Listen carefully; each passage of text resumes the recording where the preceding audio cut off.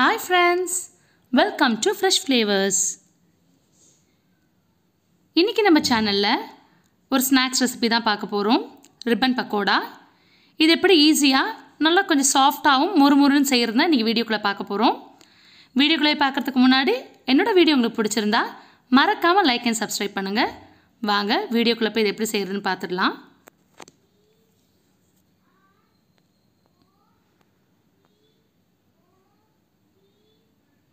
இப்போ இது செய்கிறதுக்கு நான் இங்கே ரெண்டு கப்பு கடலை மாவு எடுத்திருக்கேன்.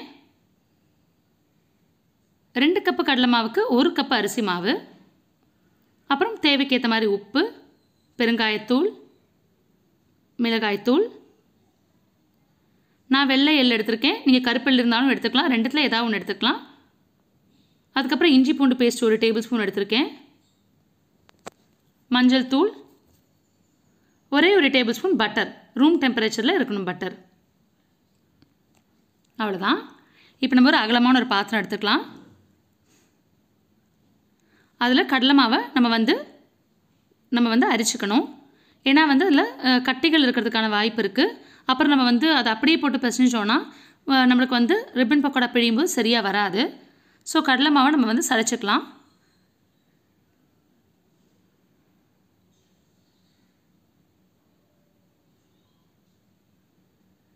இந்த மாதிரி கட்டைகள் இருக்கும். அதுக்காக தான் நம்ம சலிக்கிறோம். இப்போ நம்ம கூடவே வந்து இது கூடவே அரிசி மாவையும் சலிச்சுக்கலாம்.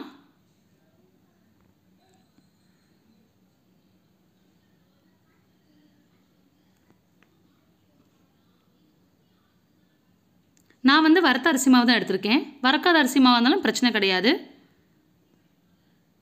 ஸோ இப்போ நம்ம ரெண்டுத்தையுமே நல்லா சளிச்சிட்டோம் இப்போ நம்ம இது ரெண்டுத்தையும் நல்லா கலந்து விட்டுக்கலாம்.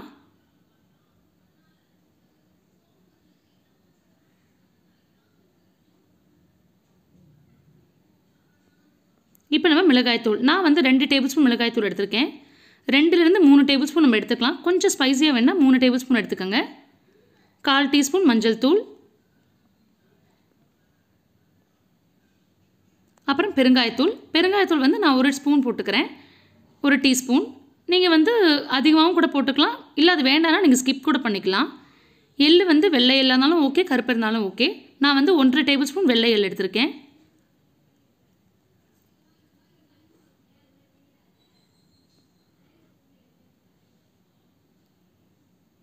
இப்போ நம்ம உப்பு போட்டுட்டு எல்லாத்தையும் நல்லா கலந்துக்கலாம். உப்பு எல்லா இடத்துலையும் கல படுற மாதிரி நம்ம கலந்துக்கலாம். உப்பு வந்து நான் இப்போ வந்து அரை டேபிள் ஸ்பூன் போட்டிருக்கேன். நம்ம மாவெல்லாம் பிசைஞ்சதுக்கப்புறம் பத்தலன்னு நம்ம திருப்பியும் கூட ஆட் பண்ணிக்கலாம். இப்போ நம்ம ட்ரை ஐட்டம்ஸ்லாம் நல்லா மிக்ஸ் பண்ணிட்டோம் இங்கே.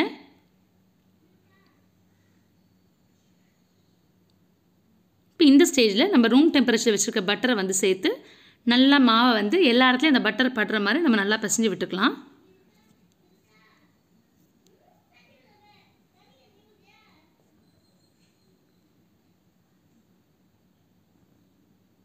இப்போ நம்ம பட்டர் எல்லா இடத்துலையும் படுற மாதிரி நல்லா பிசைஞ்சிட்டோம். இப்போ நம்ம என்ன பண்ணணும்னா இஞ்சி பூண்டு பேஸ்ட் எடுத்து வச்சுருக்கோம் இல்லையா?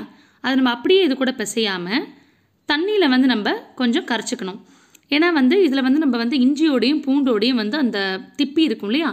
அது நம்மளுக்கு சில டைம் வந்து மாவோடு சேர்ந்து பிழிய பிழியும் போது சில டைம் பெரிய பெரிய க பீசஸ் இருந்துச்சுன்னா நம்மளுக்கு மாவு வந்து பிழிய முடியாமல் போயிடும். அதனால நம்ம வந்து வடிகட்டிக்கிறோம். நீங்கள் நல்லா ஸ்மூத்தாக இருக்குன்னா நீங்கள் அப்படியே சேர்த்துக்கலாம். பட் இருந்தாலும் வந்து இந்த மாதிரி ஒரு நம்ம மாவு பிசைறதுக்கு வச்சுருக்க தண்ணியில் ஒரு பாதி தண்ணி எடுத்து இந்த மாதிரி நம்ம நல்லா மிக்ஸ் பண்ணிவிட்டு அந்த திப்பியை பிழிஞ்சு எடுத்துட்டோன்னா நம்மளுக்கு கொஞ்சம் பெட்டராக இருக்கும். நம்ம இந்த வாசனைக்காக தான் இந்த இஞ்சி பூண்டு பேஸ்ட் நம்ம சேர்க்குறோம். ஸோ இந்த மாதிரி இது இது இல்லாமல் இருக்கிறதுக்காக தான் நம்ம வந்து தண்ணியில் கலந்துக்கிறோம். ஸோ நல்லா ஸ்மூத்தாக இருக்குங்கிறது நீங்கள் தாராளமாக சேர்த்துக்கலாம். இப்படி பண்ணுறது இன்னும் கொஞ்சம் பெட்டராக இருக்கும். அப்புறம் இடையில நம்மளுக்கு சில டைம் தடைப்பட்டு போச்சுன்னா நம்மளுக்கு பிழியறதுக்கு வராது கஷ்டமாக இருக்கும். இப்போ அந்த தண்ணியை நம்ம இதில் ஊற்றி எல்லா இடத்துலையும் சேர்கிற மாதிரி பிசைஞ்சு விட்டுக்கலாம் ஃபஸ்ட்டு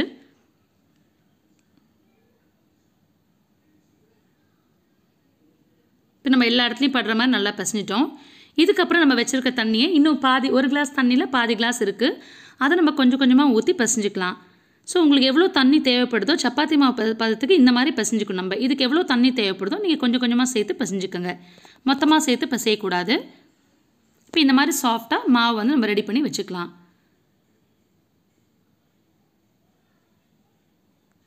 மாவு வந்து இதை விட தளர்வாகவும் இருக்கக்கூடாது இதை விட கட்டியாகவும் இருக்கக்கூடாது.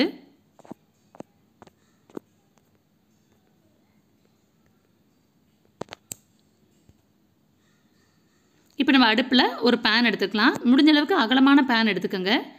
அப்போ தான் வந்து நம்மளுக்கு பிழியறதுக்கும் வாட்டமாக இருக்கும். அதை ஃப்ரை பண்ணுறதும் சீக்கிரமாக ஃப்ரை ஆகிடும் நான் ஊற்றுற அளவுக்கு எண்ணெய் ஊற்றிக்கலாம் அதாவது பேனை விட பேனோட ஒரு இன்ச்சை விட கொஞ்சம் கூட எடுத்துக்கலாம். இது மீடியம் ஃப்ளேமில் நம்ம வச்சிடலாம். ஏன்னா இது ஹை ஃப்ளேம்லேயும் நீங்கள் வைக்கக்கூடாது. ரொம்ப சிம்லேயும் வச்சிடக்கூடாது. மீடியம் ஃப்ளேமில் தான் இருக்கணும். நம்ம ரிப்பன் பக்காடா போடும்போதும் சரி நம்ம சுடும்போதும் சரி மீடியம் ஃப்ளேமில் தான் இருக்கணும்.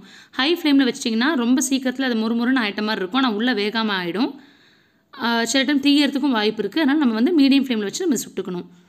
இப்போ நம்ம இந்த இடியப்பம் பிடிகிற அச்சில் வந்து உள்ளெல்லாம் நம்ம எண்ணெய் தடவினா கொஞ்சம் மாவு ஸ்மூத்தாக பிடிக்கிறதுக்கு வரும் நம்மளுக்கு. இப்போ நம்ம எண்ணெய் சூடாகிடுச்சு இதில் நம்ம வந்து எடுத்து வச்சுருக்க கருவேப்பிலையை சேர்த்து ஃப்ரை பண்ணி எடுத்துக்கலாம்.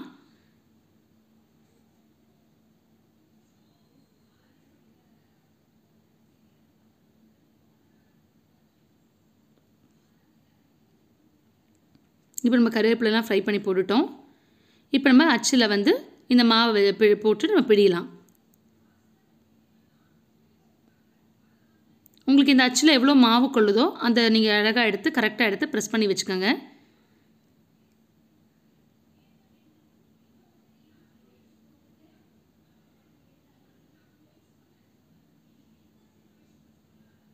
உங்ககிட்ட ப்ரெஸ்ஸிங் டைப்பில் வந்து இடியப்பம் பிழியறதுனா ரொம்ப ஈஸியாக வரும். அது கொஞ்சம் ஈஸியாகவே இருக்கும் நம்மளுக்கு. இப்போ இந்த மாதிரி மீடியம் ஃப்ளேமில் தான் எண்ணெய் இருக்கணும்? இல்லை சிம்மில் கூட நீங்கள் வச்சுட்டு போடும்போது சிம்மில் வச்சுட்டு கூட நீங்கள் அப்புறம் மீடியம் ஃப்ளேமில் வச்சுக்கலாம். ஹையில் மட்டும் வச்சிடாதீங்க.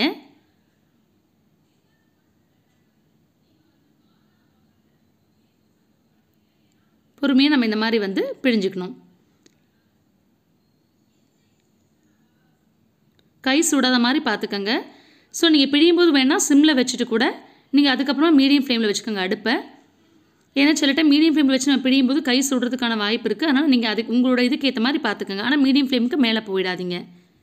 இப்போ இந்த சலசலப்பெல்லாம் அடங்கினதுக்கு அப்புறமா நம்மளுக்கு ஒரு பக்கம் வெந்துருச்சுன்னு அர்த்தம். நம்ம திருப்பி அப்புறம் திருப்பி போட்டுக்கலாம். ஸோ நல்லா ரெண்டு பக்கம் வேகிற வரைக்கும் சலசலப்பெலாம் அடங்குற வரைக்கும் நம்ம திருப்பி திருப்பி போட்டு வேக வச்சு எடுத்துக்கணும்.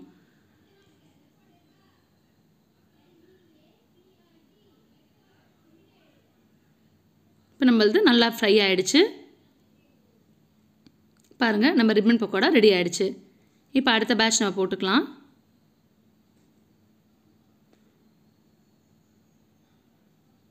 அவ்வளோதான் நம்ம இந்த மாதிரி எடுத்து வச்சுருக்கிற மாவெல்லாம் வந்து பேட்ச் பேட்சாக போட்டு நான் கொஞ்சம் அதிகமாக போட்டிருக்கேன்.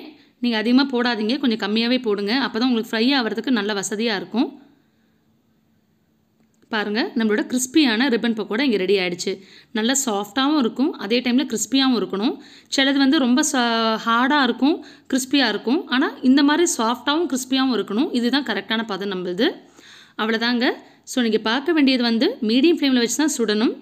அகலமான பாத்திரத்தை எடுத்து போட்டுன்னா ஈஸியாக வந்துடும் கண்டிப்பாக இந்த தீபாவளிக்கு இந்த ரெசிபி ட்ரை பண்ணிவிட்டு உங்கள் கமெண்ட்ஸை மறக்காமல் கமெண்ட் பாக்ஸை போட்டுடுங்க.